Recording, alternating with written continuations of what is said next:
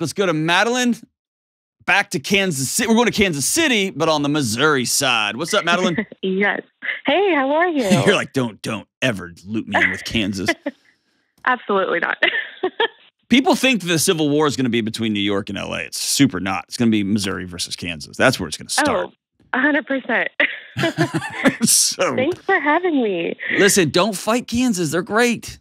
I love Kansas. All right. So, what's up? So um, I'm calling today because um, I was just curious. Navigating dating in 2022, um, how do you balance contentment and singleness while longing for a life partner? I'm an old married guy. I don't know. I know. You tell me. So I'm almost 30 years old Okay. and I've never dated. Why, hey, let me stop you. Um, How come? It's just never presented itself. Uh, So, no, no. Why haven't you dated? so I honestly have never been asked, but something I've struggled with is reaching out and trying to find connection, but often being met with um, rejection or ghosting. So it's like trying to initiate that just to even have basic connection and not even with the intent of like, I'm going to marry you, but Mhm. just trying to, you know, become friends and be connected and have those relationships. But it's, it has just been um, a dead end. And I am just kind of in a rut and Hmm. kind of lost. So I need some guidance. Yeah. I think beneath you, you're smiling while you're talking because that's what you do. Um, I can hear it in you. yeah, it's, it's Like you got this struggle. thing, you got this thing duct taped together. Mm-hmm. Is that fair? Yes. So let me get behind the people just ghost me, behind the nobody's ever asked me, beneath all of that. Somebody told Madeline that Madeline's not worth hanging out with. Madeline's not beautiful enough that anyone would ever kiss her. Nobody will find Madeline this or nobody will find Matt. What has here's here's what I'm getting at. I see young kids that maniacally insert themselves into groups of people that they were not invited to because they're just reckless. They don't have any concept that they might not be valued or wanted. hmm And then I look at, listen to you. You already have made me laugh. You're super articulate. You're able to identify what you're going through and cover it up. Like you're clearly brilliant. How do you get you. there, but you are missing the people don't want me around? Right. Where does that come from? I don't know. I Okay. guess I, I've done some reflecting recently because I'm a huge fan of yours. I'm reading through your book currently. I'm almost finished with it, and Cool. it's just Thank you. I it's phenomenal. Um, but I've just kind of been soaking up, you know, your stuff like a sponge and just trying to apply that. And I think reflecting back, like I had kind of an uneasy childhood as far as like I, I have a phenomenal family, great support system. Um, but school age years, I struggled with weight. I still struggle with it a little bit. Okay. Um, but that's always kind of been a piece, I guess, in it. And I, I don't know. I had is like your- a friend group. Is your struggle with appearance something that's been noted on you, or is that something that you bring to a group or bring to another person? Um, it's something I just kind of keep inward. I, I don't really like to reflect it outward, but I Mhm. guess um, maybe it does. I, let, let me I'm say, not sure. Let me say it this way. I'll, I'll give you an example from my life. Okay. Um, I dated somebody when I was in high school, somebody that I was madly, wildly in love with. For all a 16 year old or 18 year old, I don't remember how old it was. Could be in love, right? Uh-huh. I don't know what that meant, but I was. And I'll never forget one time we were hanging out and we were holding hands, and then she like un she loosened up her hand and ran it up the inside of my arm and was holding the inside of my arm. That that meant we were like, you know, like we're really close to babies, right? I mean, like we're in love now, Right. right? right. And she looked up at me and said, you would be so cute. And remember back back when I was in school, cute meant smoking hot, right? Uh-huh. She was like, Yes. "You would be so cute if your teeth weren't so yellow." And so that was Huh. years ago. That was a little bitty thing. To this day, I still smile with my mouth shut. Mhm. I take pictures for a living, right? I'm being videoed right, now, and I smile with my Right. mouth shut. And more importantly, I'm very awkward in person. And my wife pointed this out to me a few times over our, our years together. Uh-huh.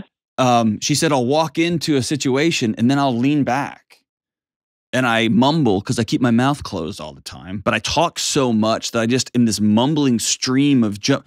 Here's the thing all of that is my insecurity from a 16 year old girlfriend. In Mhm. reality, I got yellow teeth. They're not sparkly white like my friend Rachel, my friend George. Like they, they like they open their mouth and it's blinding, right? I don't have that. I, I'm not that. right. Um, and I have taken my insecurity in that area and I just throw it like a cast net over everybody in my in my vicinity. And so I bring my insecurity to other people. And what my wife has told me is it's unnerving because people see you, John, they see me and they think that guy's cool, that guy does this, he's got a good job, he's like this. Why is he so weird around me? It must be me. Mhm. And then they back up because they don't want to be the weird person. Okay. You see what I'm saying? Yeah. So it might not be you, the person who thinks that they don't look right or that they're not beautiful enough. And it might Okay. be she acts super weird around me and I think she's pretty rad or she's hilarious or I think she's beautiful, but I feel weird around her. You see what I'm saying? Mhm. That's the difference between walking into a situation and saying, I'm freaking Madeline from Missouri. I deserve to be in every space I walk into. And if you don't want to be in that space with my big smile and my whatever I look like, then you are free to go. And that's on you, not on me. And that's a completely different composite than I have a crush on you and I want to date you, but I know that I'm not as pretty as I think I could be for you. And so I'm just going to try to get really small. See how Mhm. different that is? right. Ugh, I'm sorry. Yeah. No, I I you you've just articulated I think a lot of emotions and like a little hamster wheel of thoughts in my in my mind. So the best way out of off the hamster wheel is not more thinking, it's doing. Right. And that's the worst. it's, the, Yes. it's the worst, yes. right? So uh, I'll tell you I'll tell you this story and then we can we can try to come up with a solution or a couple of solutions. Okay. We we can't solve it. I, I it would be it would be dishonest and disingenuous of me to be like, "All right, here's how you date in the 21st century." I don't know. Right. Here's what I do know. um, a buddy of mine got divorced uh, a few years ago, and we were out to lunch, and I was kind of living vicariously through him. I was like, "All right, dude, you're dating again. Like, what's it like?" And I'll Mhm. never forget. We were like in some burger joint in Texas, and he takes sets his food down, and he wipes his wipes his mouth off, and he leaned in across the table, and he said, "I don't care how bad it gets at your house, man. Never, never, never." Never break up. You got to stay together, man Yeah. this is crazy out here. And I was like, what do you mean? He goes, it's insane. Everybody's nuts. And he went on to explain, like, remember when you would meet somebody like at church or at, at, a, at a bar or something and you'd say hi and get their number? Now they call the police if you do that. He goes, "It's- Exactly. it's, stalking. You can't do that. You have to follow them on the internets for a while. And anyway, he just is like a whole new planet opened up. So my first thought is to date in the 21st century, you should probably take an online programming class. Maybe that would help, like interact with Right. the internets. I don't know. Um, here's here's a more truthful answer. I think you need to practice being around people and catching yourself when you start to feel awkward or not a part of the group. Okay. And when you feel yourself begin to lean back, when you feel yourself, I laugh too loud, I don't look good in this shirt, begin to really challenge those thoughts. Is this true? Okay. Could you stand to lose weight? Probably, possibly. Right. I, could, right? Is that the reason nobody loves you? No, it's not. Is that the reason why you're single? No, it's not. okay. Okay. There's something beh- behind that. That means you're going to have Okay. to spend a season being weird and uncomfortable, which is probably the two things you spent your life avoiding. hmm being the weird one and the uncomfortable one. Is that fair? Yes. Okay. Expect rejection, expect failure, expect crash and burns, expect to lean in and kiss somebody and then be like, What are you doing? Or expect somebody to lean and kiss you and their breath is so bad your eyebrows fall out. Expect all those things. Misreading signals, all of that. Okay. You've never done it, so you got to be graceful with yourself. And there are few people on the planet who have made more dating mistakes than I have. I was the worst at it. I was the most clueless moron. I just didn't see, I just didn't. And I just kept getting back up and going again. Mostly because I was too stupid to know any different. to know any different. So when I say ask folks out, have a regularly a regular weekly gathering at your house with a couple of strangers or people from work or people from your local church or people from the Y. I don't care. Tell me what that does in your body. so I'm actually the the friend of the friend group that loves hosting. I'm the one that craves the connection and wants to cultivate that and have people over and host and do the things. Okay. But um I guess maybe I do it in a safe manner. I do it with the people that I've known the longest and that I'm closest to, but um Are you going to date I- any of I them? don't no.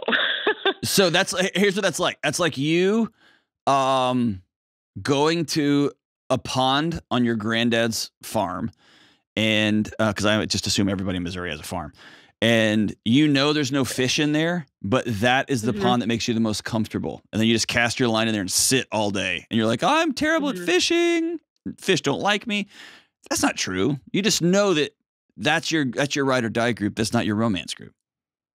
right. Is that fair? Yes. So you gotta be weird. Okay, where do we go to meet the people? Go, go first. Bring them to you. Bring them to you. Invite five or six people from work over. And and this is going to sound ridiculous, but what we're doing is we're practicing being awkward. okay. We're practicing not overdoing it when it comes to I'm trying to to alter my appearance so that I can feel like I am fill in the blank. We're just going to be you. You're going to practice not cleaning up your house and making it look like it's an HGTV reveal every time somebody walks over to your house.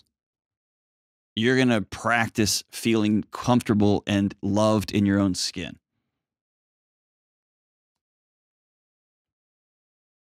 Okay. Is that fair?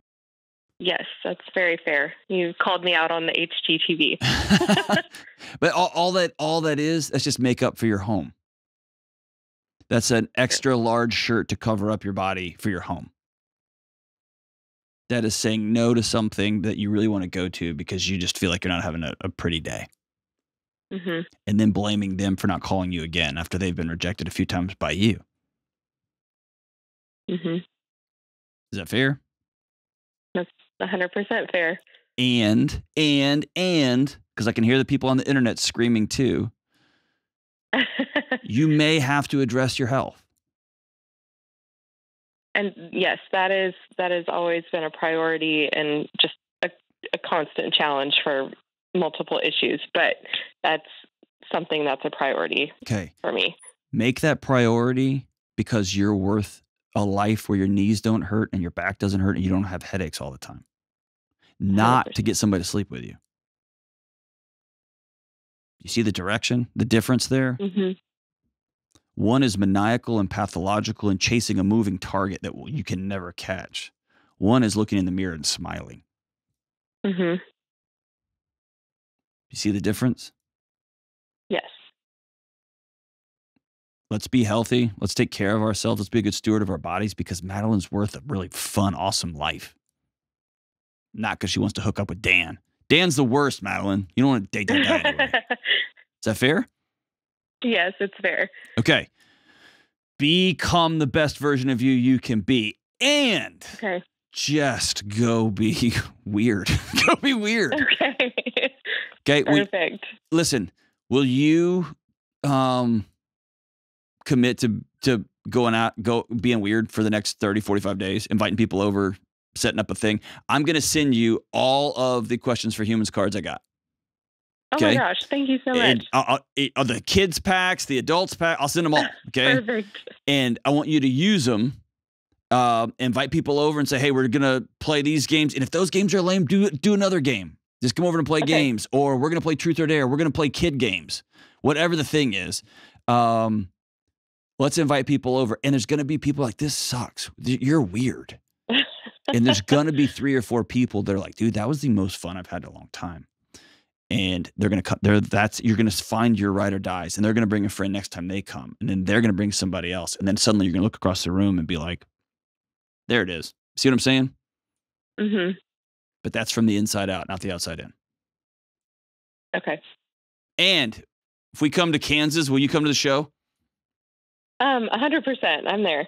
Oh my gosh, that's gonna be incredible. Dude, it's gonna be a disco, Madeline. I can't even wait. It's not on the calendar, but I can't even wait. hey, thank you for being brave, Madeline. I'm grateful for you.